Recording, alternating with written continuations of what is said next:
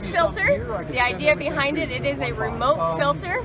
It offers a clear top on there. The best part is the air valve that it supplies. You run your engine, put oil into that filter.